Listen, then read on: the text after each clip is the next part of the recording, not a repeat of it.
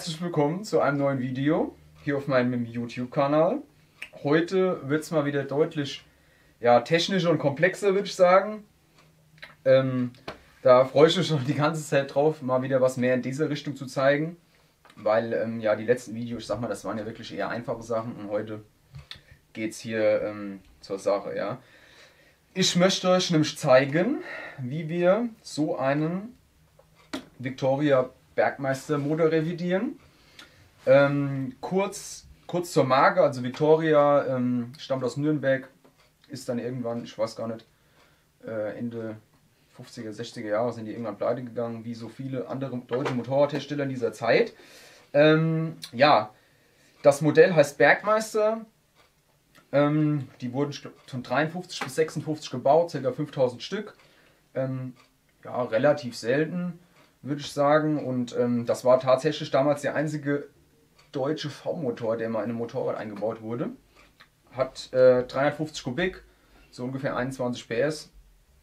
Ähm, ja, das kurz ähm, zu dem Modell. Ich werde jetzt auch noch mal eine kurze Sequenz einblenden, äh, wie so ein Motorrad aussieht, dass ihr mal eine Vorstellung habt, ähm, wie das im eingebauten Zustand aussieht. Ja, äh, warum will ich euch das zeigen? Es ist, ich denke nicht, dass jetzt jemand anhand von diesem Video irgendwie so einen Motor überholen wird. Darum geht es mir auch gar nicht. Es geht mir einfach darum, ähm, halt mal so eine Restauration zu zeigen, weil das doch deutlich aufwendiger und schwieriger ist, wie jetzt zum Beispiel von einem aktuellen Crossmotor, weil das ist, ich sage jetzt mal ganz vorsichtig, eigentlich keine große Sache, weil da gibt es alles zu kaufen, da greifst du ins Regal und dann geht's los. Ja, da kannst du, wenn was kaputt ist, schmeißt es weg und kaufst es neu. Das ist jetzt hier halt definitiv nicht der Fall. Hier müssen wir wirklich gucken, ähm, und halt, was wir nehmen können, was wir aufarbeiten müssen und äh, wie wir da voranschreiten und so weiter und so fort, weil hier ist halt eben nicht einfach ins Regal greifen und äh, halt alles mal eben gerade eben schnell alles neu machen, ja. Ja, das ist ein überholter Motor, also so soll es nachher aussehen und den Motor werden wir jetzt komplett zerlegen und uns alles angucken über und dann halt eben entsprechend halt revidieren. Ja, hinten da ist noch ein Getriebe angedockt, ist ein Kettengetriebe. Ähm, da gehe ich nicht weiter drauf ein. Also das werden wir gleich abdocken und dann ähm, halt eben nur diesen Motor jetzt erlegen. Ja, wie ich eben schon erwähnt habe, werde ich jetzt erstmal das Getriebe hier abmachen. Ähm, das sollte eigentlich keine große Sache sein. Da sind hier oben zwei Imbusschrauben und äh, unten sind noch drei Muttern. Habe ich aber schon gesehen eben, dass diese Muttern da nicht mehr drauf sind. Die hat anscheinend schon mal irgendwann jemand abgemacht. Ähm, jo. So, Randbemerkung nebenbei zu dem Motor. Ähm, der hat nur einen Vergaser. Der sitzt nachher hier. Dann gehen die Ansaugkanäle hier wirklich hier durchs Gehäuse oben äh, in den Zylinderkopf rein. Weil der gute Mann, der den Motor hier entwickelt hat, der Richard Küchen, der hat ultra viel Wert darauf gelegt, dass dieser ganze Motor eine extrem, ich sag mal, neuzeitlich würden wir sagen, clean Optik hat, ja. So, jetzt müssen wir mal hier. ah ja, kommt schon. Kommt schon. Wie gesagt, normalerweise sind hier unten noch drei Mutter, die sind aber schon weg. Hier ist auch die Ablassschraube schon weg. Ist also auch keine Öl mehr drin. Jetzt müssen wir den eigentlich hier. Kunststoff haben wir. Muss man immer ein bisschen aufpassen, da, dass man hier sowas nicht kaputt haut. Also sprich, nicht einfach überall sinnlos draufhauen.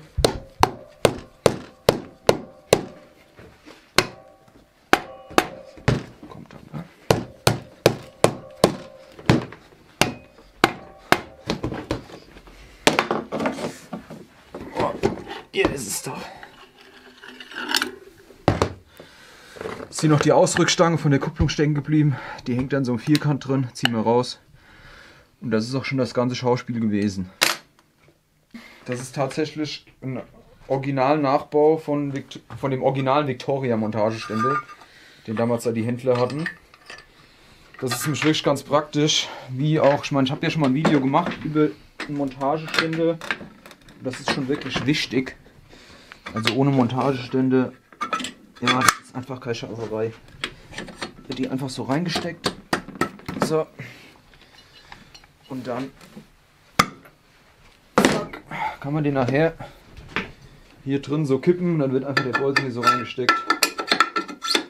Zack, und dann hält er hier und dann kann man da ein bisschen besser dran arbeiten.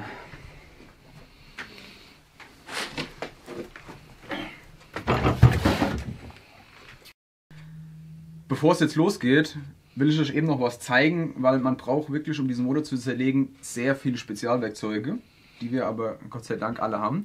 Jetzt muss ich euch hier mal so kurz ein bisschen abholen, weil ähm, das ist ja nicht von mir, beziehungsweise nicht für mich. Das ist eigentlich, sag mal, mein Vater ähm, macht schon seit, ach, ich weiß gar nicht, bestimmt 30 Jahre mit äh, alten Motorrädern und daher, ich denke mal, viele wundern sich wahrscheinlich auch immer so ein bisschen, woher diese ganz, dieses ganze Equipment und Werkstatt kommt. Das ist natürlich ein großer Teil. Äh, hat sich das über Jahre halt von meinem Vater angesammelt und eigentlich ist das hier auch ein Projekt von meinem Vater, der heute hinter der Kamera steht. Ähm, ja, aber wir haben halt gedacht, es wäre halt mal ganz cool, halt eben mal darüber ein Video zu machen. Und ähm, dadurch, dass wir, ja nicht wir, sondern mein Vater da schon so lange Geschäft ist, kennen wir uns damit auch trotzdem schon ganz gut aus. Ja. Gehen jetzt mal kurz hier raus. Äh, und zwar hier an diese Wand. Das sind halt alles irgendwelche Spezialwerkzeuge, die wir jetzt, also wir werden nicht alle Werkzeuge brauchen, aber zumindest mal ein Teil davon um diesen Motor jetzt zu zerlegen. Ja. Ähm, also das brauchen wir auf jeden Fall. Das brauchen wir auf jeden Fall. Das brauchen wir auf jeden Fall. Ja, und dann sehen wir mal weiter. Ich werde jetzt mal als allererstes hier vorne diesen Gehäusedeckel abnehmen. Ähm, weil das, ich würde jetzt mal sagen, mich jetzt am meisten interessiert, wie es dahinter aussieht, weil ich habe im Endeffekt keine Ahnung, äh, wie lange der Motor jetzt irgendwo rumgestanden hat, was damit los, ob der, ich sag mal, ob der jetzt was defekt ist, wie auch immer, kein Plan. Ja, deswegen erstmal den Deckel jetzt hier ab und dann bin ich mal gespannt, was es da zum, was da so zum Vorschein kommt, weil dahinter ist die Steuerkette auch für den Ventiltrieb oben. Ja, und dafür brauchen wir jetzt eben auch gleich halt dieses Spezialwerkzeug, um den da runterzuziehen, ja.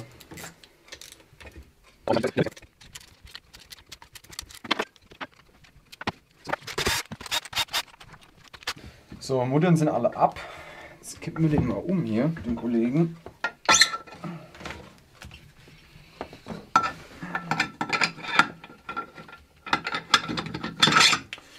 So. Und auf der Mutter reindrehen, hier so zum Schutz von dem Zapfen hier von der Kugelwelle. Dann kommt dieses Teil hier ins Spiel, um eben diesen Lagerdeckel hier runter zu ziehen.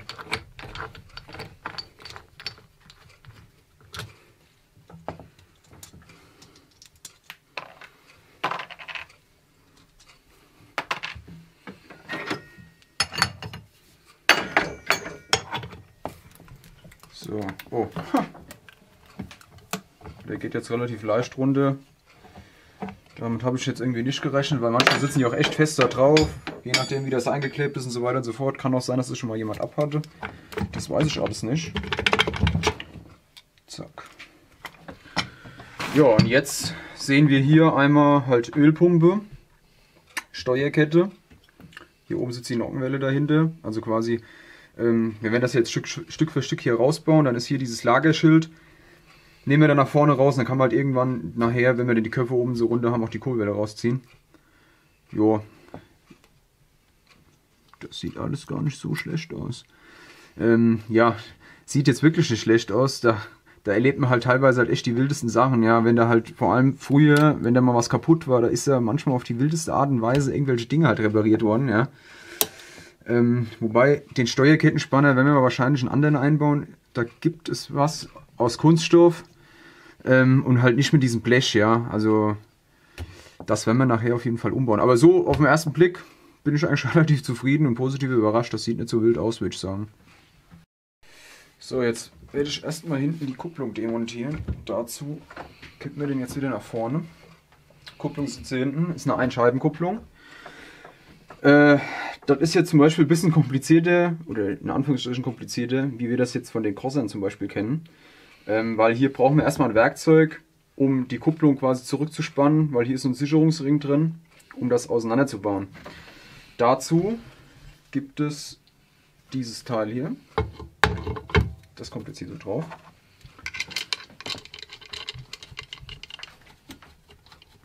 So, unten zwei Muttern drauf. Und dann können wir das über diesen Knebel hier, die Kupplung halt vorspannen und den Sicherungsring daraus machen. Also ihr seht schon hier, ohne Spezialwerkzeuge geht hier nichts. Ähm, weil allein schon diese Kupplung halt eben zurückzuspannen, das ist schon echt eine Aufgabe. Sonst, da kann man zwar vielleicht irgendwas auch bauen und so weiter und so fort, aber ja, schwierig. Zumal auch bei solchen Sachen mit viel Federspannung äh, ist auch immer ein gewisses Gefahrenpotenzial da. Das muss man auch mal ganz klar sagen. Wenn einem sowas in die Ohren fliegt, dann, dann kann man sich dabei auch ruckzuck mal wehtun. Jetzt mal gerade gucken, wie ich das am besten mache. Zack. Also. So, jetzt können wir das hier wieder zurückdrehen. Dann können wir die Kupplung rausnehmen.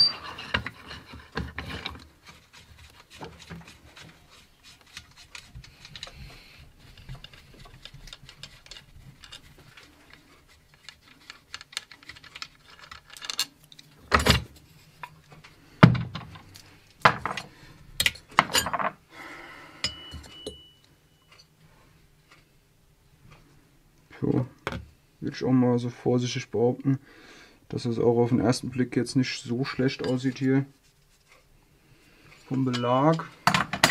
So, ist hier hinter noch so eine Druckscheibe. Ich nehme mal raus. Das glaube ich wenn ich den Motor nochmal nach vorne kippe. Und dahinter sitzen dann die Federn, die das Ganze vorspannen. Na komm. Zack, genau. Hier jede Menge Federn. Diese Schraube werden wir jetzt gleich lösen und dann äh, können wir das Ganze bzw. dieses Schwungrad dann da abziehen bzw. lösen. Ich werde jetzt erstmal die Schwungscheibe hier demontieren. Das hier aus dem Sicherungsblech. Das werde ich jetzt mal eben schnell umkloppen. Da sieht man auch schon schön, da waren echte Profis am Werk, wenn ich sehe, wie diese Schraube da vergewaltigt wurde. Schon mal gut rumgemurkst worden. So, das Blech werden wir wahrscheinlich nachher eh ein neues reinmachen. Jetzt gibt es hier so ein Werkzeug. Das sieht folgendermaßen aus. Das setzt sich jetzt hier innen rein. So. Und passt hier so ins Gehäuse rein. Und es hält einfach die Scheibe da fest.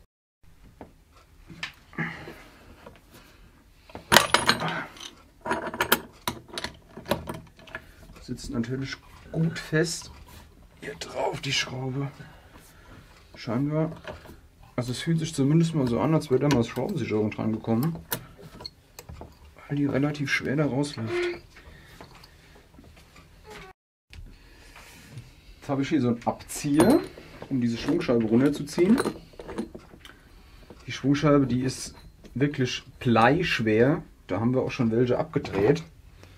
Einfach um den Motor ein bisschen spritziger zu machen, weil ich weiß gar nicht, wie schwer das Ding ist. Also es ist wirklich sauschwer, ja. So, jetzt kommt der Kollege hier nochmal zum Einsatz. Jetzt ziehen wir das hier ab. Okay, haben jetzt überraschend, ging relativ leicht. Weil da kann es immer mal sein, dass der sitzt ja in so einem Konus drin, dass man da auch mal so einen Lupfschlag drauf geben muss, dass es relativ schwer geht, ja. Aber das war es jetzt schon. Jetzt sieht man das Ding hier mal wirklich komplett, ja. Also das ist wirklich ein Riesentrümmer. Ich weiß auch nicht, warum das unbedingt sein musste, dass das Ding so schwer dimensioniert ist, aber okay. Ja, und jetzt sieht man hier hinten schon, also das ist das Ganze nochmal mit einem Keil zusätzlich gesichert. Hier ist ein Lagerschild eingeschraubt, mit dem hinteren Kurbellenlager sitzt ein Simmering innen drin. Das werden wir nachher auch alles da rausholen. Jetzt ist mir hier gerade noch eine Sache aufgefallen. Und zwar normalerweise gehört hinter diese Schwungscheibe hier so eine spezielle Tellerfeder hin, also eine Tellerscheibe. Ähm, die ist im Endeffekt dafür, weil das ist der feste Lagersitz, sprich die Welle wird quasi nach hier zentriert, ja, also beziehungsweise die zieht sich hier gegen diesen Lagersitz. Ähm, und vorne in dem Lagerschild kann die Welle halt wandern durch äh, bei Temperatur oder so, ja. Aber die Scheibe hat auf jeden Fall gefehlt, sprich, das hat wahrscheinlich eh so nicht richtig funktioniert. Ähm, sprich, hier war auch schon mal irgendwann jemand dran, aber ich sag mal, ähm, hat man ja eh an der Schraube gesehen. Da wurde schon ein bisschen rumgemurkst. Jetzt machen wir auf jeden Fall den Keil schon mal hier raus, dass wir das erledigt haben, dass wir die Welle ja nachher nach vorne rausziehen können. Das geht ganz leicht, hier gerade zum Schraubenzieher mit dem Hammer.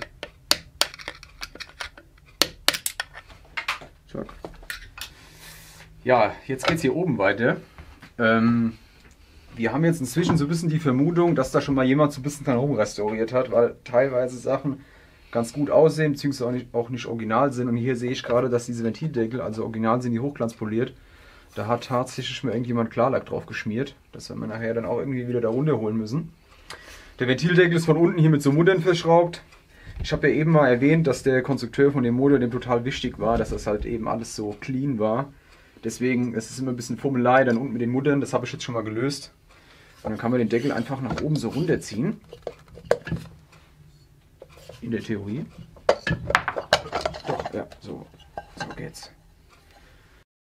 So, also einen sieht, äh, dass es schon mal auseinander war, ist auf jeden Fall schon mal, dass hier nicht mehr die originalen Muttern drauf sind. Das sind nämlich VA-Muttern mit einer 13er Schlüsselweite. Und original sind da Schrauben mit einer 14er Schlüsselweite. Also da war auf jeden Fall schon mal jemand dran.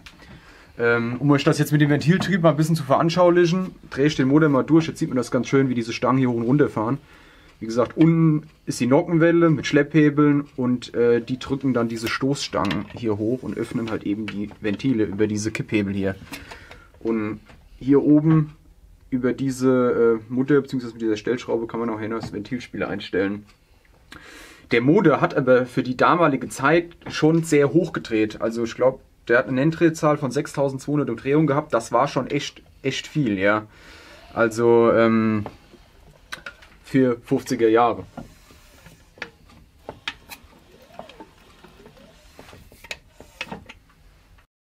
Als erstes nehme ich jetzt hier den Kipphebelbock runter.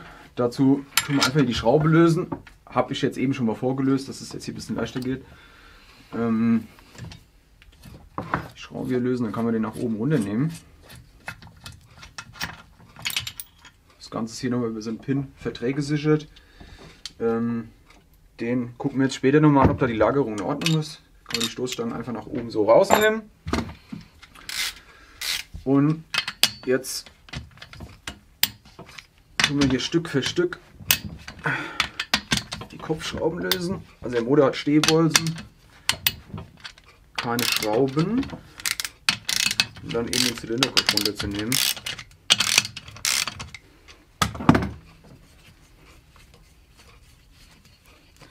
Da gehören noch normal Scheiben drunter, die fehlen auch. Also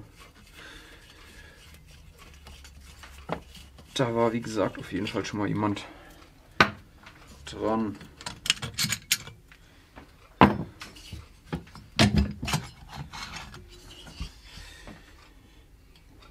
Ja, hier sieht man es auch nochmal, weil der Kopf war auf jeden Fall mal unten.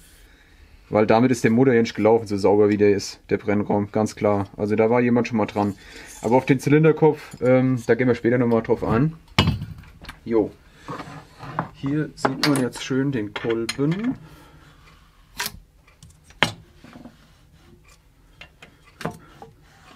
Das sieht jetzt auch alles auf den ersten Blick nicht so schlecht aus. Ziehen wir den Zylinder mal runter. Das ist jetzt ein bisschen die Stunde der Wahrheit. Oh, aber der Kolben ja, sieht nicht mehr so fresh aus, würde ich mal vorsichtig behaupten. Machen wir vielleicht mal da Runde und gucken uns das genauer an. Also wie gesagt, das machen wir im zweiten Schritt, aber der ist, ja, hier neben hat er auch so ein bisschen Fressspuren. Ich habe jetzt gerade den anderen Ventilecke abgemacht und äh, jo, hier waren auf jeden Fall echte Spezialisten am Werk, weil die Dichtung, die hing halt schon so hier drin. Also wenn der Motor auf jeden Fall gelaufen wäre, dann hätten wir da schöne, schöne Ölkatastrophe erlebt. Also ich bin mal gespannt, was wir da noch so für Überraschungen hier erleben werden, ja. Hier sieht man das jetzt auch nochmal ganz gut mit dem Ansaugkanal, mit dem einen Vergaser von hinten. Hier in der Mitte teilt sich das und dann kommt hier der Ansaugkanal raus, geht hier durch den Zylinder durch, kommt dann hier oben im Zylinderkopf an, geht dann hier um die Ecke durch das Einlassventil rein. Wilde Konstruktion, aber funktioniert. Jetzt, wenn wir mal so einen Kolben hier runternehmen und uns das genauer anschauen, aber ich muss schon mal vorab sagen, das sieht nicht so toll aus. Und das ist auch schon das zweite Übermaß. Also die, die Grundbohrung ist 64, dann gibt es 64,5, 65 und hier ist schon 65 drin. Also müssen wir da mal gucken, was wir da machen. Aber das schauen wir dann, wenn es soweit ist. Moment. Jetzt machen wir erstmal die Klipse raus. Das ist hier ganz cool. Die haben hier so Nasen dran, dass man die Zange ganz leicht rausmachen kann.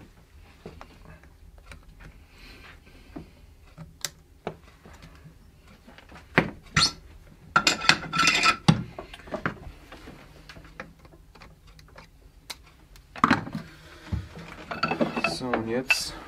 Das ist nämlich sowas bei den heutigen neueren Motoren, kann man die Bolzen immer relativ leicht rausschieben. Oh, komischerweise hier auch, weil normalerweise sitzen die echt feste da drin. Deswegen habe ich hier so einen Alu-Down, dann halte ich den Kolben von unten gegen und dann kann ich den Kolbenbolzen da rausschlagen. Das ist jetzt auch irgendwie neu. Ich, ich denke auch, dass das keine originalen Kolben sind. Das wird irgendwas nachgebautes sein. Das wird mein Vater wahrscheinlich dann besser beurteilen können als ich. Ähm, aber jetzt kommt eh erstmal der interessante Part, weil wir jetzt die Kurbelwelle angucken, ob die noch gut ist. Weil hier gibt es ja nicht wie bei einem neuen Motorrad einfach einen Kurbelwellenlager-Reparatursatz, beziehungsweise einen Pleuel-Reparatursatz oder so. Die kann man dann zwar aufwendig instand setzen lassen, aber wenn die jetzt noch in Ordnung ist, machen wir da nämlich gar nichts. Ich mache jetzt erstmal einen kleinen Check, ob die Welle in Ordnung ist. Also mal einen Gefühlscheck, ja, ob da wirklich auf Spiel drin ist. Aber mein Gefühl sagt mir, das kann ich jetzt auf dem Video halt nicht so wirklich zeigen. Aber die Welle ist durch. Die hat schon wirklich spürbares Höhenspiel.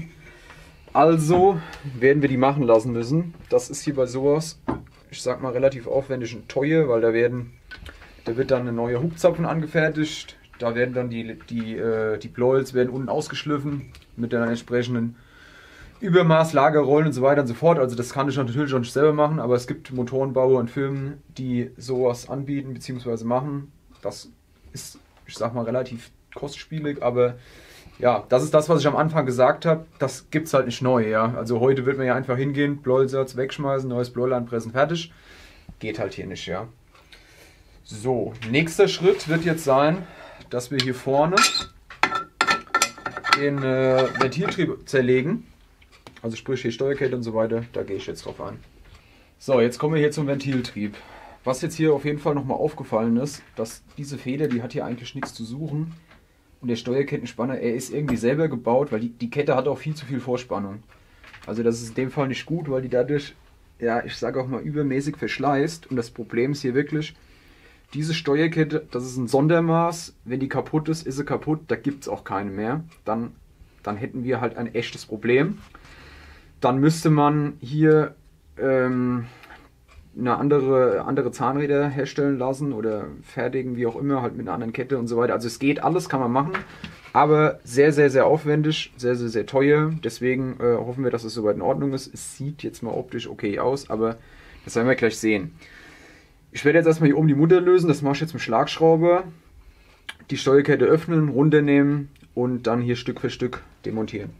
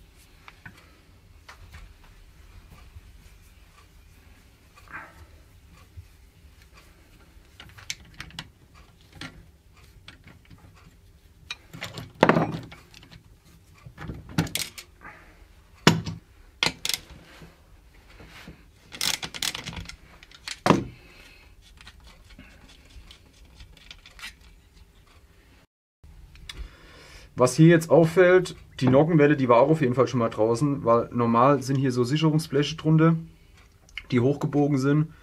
Äh, da sind zwar Scheiben drunter, aber ja, sind halt nicht hochgekloppt bzw. hochgebogen. Also das ist auf jeden Fall auch nicht richtig. Und sie sind auch irgendwie, also die habe ich nicht vorgelöst. Nicht wirklich fest angezogen. Jetzt werden wir hier Es ist zwar an sich eigentlich nicht so schön, aber hier vorsichtig mit dem Schraubenzieher mal drunter gehen und da so ein bisschen anlupfen. Und dabei muss man aufpassen, dass wir hier oben die Schlepp Schlepphebelwelle nicht mit rausziehen. Deswegen habe ich das da oben jetzt mit dem Schraubenzieher mal ein bisschen vorsichtig zurückgedrückt. Hier oben drin, dass das nicht auseinanderfällt. Und jetzt können wir einfach hier die Nockenwelle mit diesem Lagerschild hier rausheben. Liegt das gute Stück. Also das Lager ist auch auf jeden Fall kaputt hier. Es läuft ex extrem rau. Das werden wir auch auf jeden Fall tauschen. Ja, und jetzt nochmal kurz zu der Funktion von diesem Steuertrieb, was ich am Anfang schon mal angeschnitten habe. Hier oben hängen jetzt noch die Schlepphebel drin. Das sind hier so Rolls, Roll, Rollchen, die über die Nockenwelle laufen. Und da sind in diesen Tassen da, werden von oben die Stoßstangen reingesteckt und wenn durch das Drehen der Nockenwelle wandern die Teile dann hoch und runter und tun eben oben im Ventiltrieb die Ventile öffnen oder schließen. Ja, jetzt werden wir diese Schlepphebelwelle mit den Schlepphebeln erstmal rausziehen. Vorsichtig. Jetzt ist einer rausgefallen, ist nicht so schlimm. Hier ist oft das Problem, dass diese Rollen hier sehr viel Spiel haben. So, ach du Scheiße. Also das ist komplett im Arsch, auf gut Deutsch gesagt, kann man nicht anders sagen. Man merkt das auch hier, die haben extrem viel Spiel. Damit ist es halt unmöglich, A, ein Ventilspiel einzustellen. Und man hört das auch bei den Motorrädern, wenn die laufen, das sofort raus, weil das Ding rappelt wirklich wie ein Sack Nüsse, als hätte man da ein paar Schrauben in den Motor geworfen. Und äh, ja, muss man auf jeden Fall alles auseinander machen. Das müssen wir dann irgendwie, also neu ausbüchsen. Da gibt es Mittel und Wege, das zu revidieren. Muss man auf jeden Fall alles machen. Ja, ähm, und äh, jetzt geht es auf jeden Fall dann gleich hier vorne weiter, dass wir das Lagerschild hier runterziehen und die Kohlwelle rausholen. Ich habe jetzt die ganzen einzelnen Mutter von, Muttern von diesem Lagerschild hier schon demontiert. Hier ist noch eine Sache wichtig zu erwähnen. Äh, dieses Alu-Zahnrad hier, was die Ölpumpe antreibt, das lasse ich ganz bewusst da drauf, weil das sitzt auch auf einem Konus. Es ist aber so, wenn man den Abzieher ansetzt, geht das Ding ruckzuck verbogen. Sieht man wirklich ganz oft bei den Kisten hier, dass die Dinger krumm sind. Gibt es nicht mehr, also ist ein Riesenproblem und richten ist auch scheiße. Also deswegen nach Möglichkeit einfach drauf lassen, ähm, dass, äh, dass das halt nicht kaputt geht, ja, weil das ist wirklich ein hohes Risiko, dass man das verbiegt oder sonst was.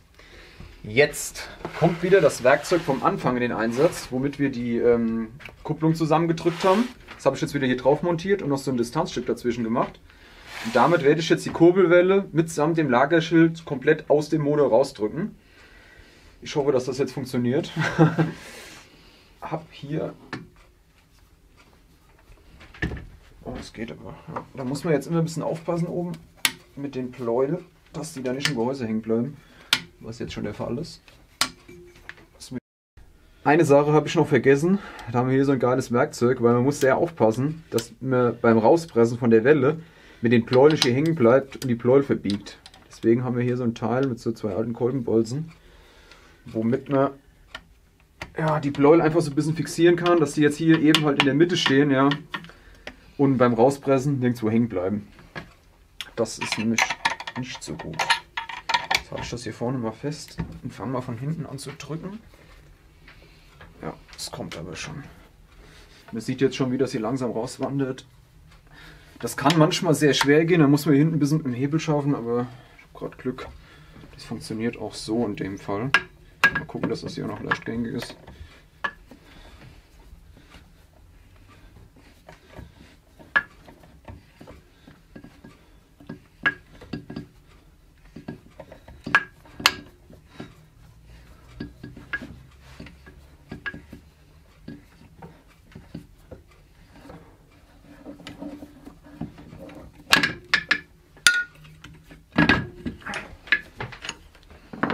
Jetzt das hier im Gesamten rausheben. So, da ist die Kurbelwelle mit Lagerschild, quasi das Herzstück von diesem Motor.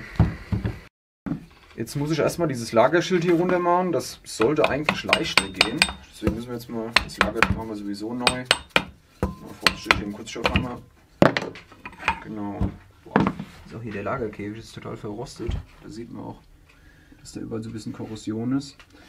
Und jetzt hier nochmal zur Kurbelwelle selbst. Also ich meine klar, ihr kennt das, normal ähm, haben Ploils immer seitlich ein bisschen Spiel, aber hier ist das auf jeden Fall deutlich zu viel, was einfach ein Indiz dafür ist, dass diese Anlaufscheiben hier neben halt auch verschlissen sind. Und wir haben auch hier, also ich denke, man wird es jetzt auf dem Video nicht erkennen, aber ich fühle das hier. Ja, wir haben deutliches Höhenspiel. Ich schätze mal, das sind mindestens ja, zwei Zehntel. Also Welle muss auf jeden Fall gemacht werden.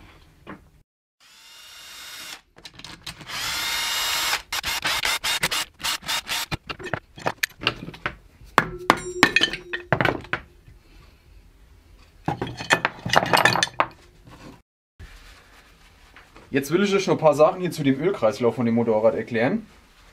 Ölwanne habe ich gerade abgenommen. Hier unten sitzt der Ölfilter, der für die damalige Zeit schon, ich sage jetzt mal, ziemlich high-end war, weil der sehr, sehr feinporig ist. Da gab es Motorräder aus der Zeit, die haben da mehr oder weniger ein Maschendraht gehabt, dass dann nicht die ganz großen Brocken mit angesaugt werden. Ähm, was man noch dazu sagen kann, der Motor hat nur anderthalb Liter Motorenöl, was relativ wenig ist und auch dafür sorgt, dass der halt eine relativ hohe Öltemperatur hat. Da haben wir mal irgendwann hier so einen Zwischenring konstruiert, den jetzt wahrscheinlich auch hier reinbauen werden, ähm, womit das Ölvolumen ungefähr um Liter angehoben wird. Dann kriegt das Öl ein bisschen weniger Temperatur und äh, ja, tut dem Motor einfach gut. Ja, dann wird hier dieser Ölfilter ähm, da so ein Zwischenstück noch verlängert, dass der ein bisschen weiter runterkommt und das Öl von weiter unten ansaugt. Dieses Stahlrohr hier drin hat bei dem Motor auch eine extrem wichtige Funktion. Ähm, da sitzt ja hier außen so eine Gummilagerung drin, wo der Motor nachher mit dem Bolzen im Rahmen verschraubt ist. Und es kann passieren, dass wenn äh, hier Feuchtigkeit eintritt, dass dieses Rohr auch mal von innen gern durchrostet. Und dann hat man irgendwann, dass hier außen das Öl rausgelaufen kommt. Also das muss, sollte man sich auf jeden Fall immer angucken, dass das in Ordnung ist. Sieht jetzt hier in dem Fall echt noch ganz gut aus. Ölkreislauf funktioniert folgendermaßen. Also das Öl wird, wie ich eben gezeigt habe, hier unten im Ölfilter angesaugt. Hier vorne sitzt ja die Ölpumpe. Und dann geht hier hinten im Motor hier rüber, hier hinten hoch ein Ölkanal. Hier oben rein. Da läuft die Nockenwelle drin. Und das Öl wird dann hier oben durch die Nockenwelle gepumpt und kommt eben aus diesen kleinen Bohrungen raus und tropft dann quasi von oben auf die Nockenwelle, äh, Nockenwelle, Kurbelwelle. Und das ist im Endeffekt die ganze Schmierung. Also die Kurbelwelle selbst wird nicht durch einen Ölkanal oder durch eine Bohrung irgendwie durch einen Zapfen geschmiert. Was auch so ein bisschen, ich würde mal sagen, ein Problem bei dem Motor ist, weil die Kurbelwelle deswegen halt keine allzu hohe Standzeit hat. So nach 20.000 Kilometer sind die in der Regel platt, weil die halt nicht direkt geschmiert werden. Ähm, ja, das ist auch immer so eine Problemstelle hier oben, die Lagerung von der Nockenwelle im Gehäuse. Ist gerne ausgeschlagen. Jetzt mal rein vom Gefühl her ist es hier in dem Fall nicht so schlecht, aber das Problem ist, blenden das mal kurz ein. Ja, da haben wir hier halt so Einlaufspuren. Das kommt halt einfach von, ja, von schmutzigem Öl mit feinen Metallpartikeln, dann läuft das hier so ein bisschen ein. Äh, die Reparatur sieht da folgendermaßen aus. Das wird hier runtergeschliffen, dann wird hier eine Buchse aufgepresst und dann eben hier oben diese Büchse größer aufgehohnt bzw. aufgespündelt, wie auch immer weil diese Büchse zu tauschen, das ist relativ aufwendig. Die wird damals, oder die ist damals bei der bei dem Guss von dem Motorgehäuse von vornherein mit eingegossen worden. Also ähm, ja, ist nicht so einfach zu tauschen, aber man kann es auf jeden Fall auf diese Art und Weise halt eben reparieren.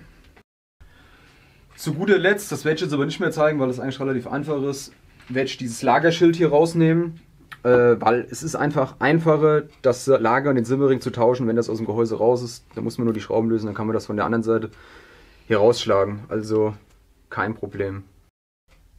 Das war es jetzt auch schon für heute. Also der Motor ist komplett zerlegt. Das Ganze wird jetzt äh, folgendermaßen weitergehen. Ich werde jetzt ein Video machen, wo wir so ein bisschen so eine Bestandsaufnahme machen, beziehungsweise an den einzelnen Teilen arbeiten, uns alles, alles nochmal angucken was jetzt genau gemacht werden muss, wie und so weiter und so fort. Auch wie ich dieses Gehäuse jetzt hier aufarbeite, da bin ich mir noch nicht so richtig sicher, was wir da machen. Ob ich das irgendwie so versuche oder ob ich das Glaspell strahle. Ähm, Glaspellstrahlen ist halt immer so eine Sache, da muss man das vernünftig abdecken, weil da sind so viele Ecken, du kriegst den Sand einfach dann nie wieder richtig raus. Also das geht, aber das ist eher so die zweite Möglichkeit. Zeige ich dann aber. Und dann wird es später irgendwann noch ein Video geben, wie ich das Ganze wieder zusammenmontiere. Ja, ich hoffe auf jeden Fall, dass euch das Video gefallen hat, dass euch das auch interessiert, weil das jetzt mal ein bisschen was anderes ist, weil es halt eben so alt ist, ja. Aber ich habe mir halt gedacht, das ist trotzdem ganz cool halt hier auf dem Kanal.